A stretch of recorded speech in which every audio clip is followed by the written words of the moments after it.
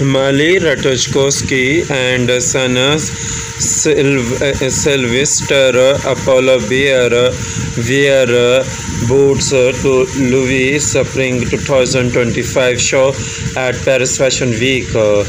Emily Ratajkowski brought some company to sit front row at the Loewe Spring 2025 show for the Paris event. The model and author brought her son uh, Sylvester Apollo Vieira.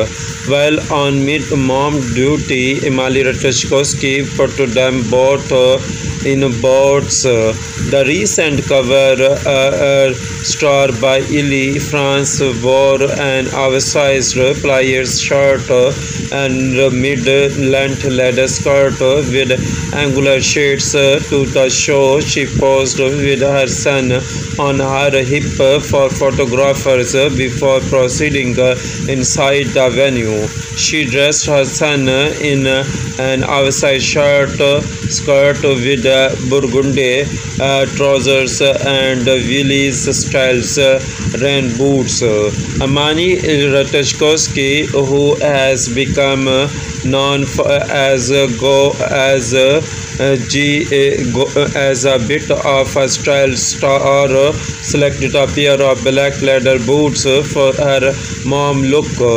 The boots are a collaboration between Paris, Texas and photographer Nadia Lee Cohen. Cohen is a photographer and filmmaker who has worked with the company uh, camp, uh, campaigns uh, before. Uh, for their for partnership, uh, they created a second skin cowboy boot. The shoe features a sharply pointed toe as well as an angular heel. The upper molds tightly to the foot and up the bottom of the calf.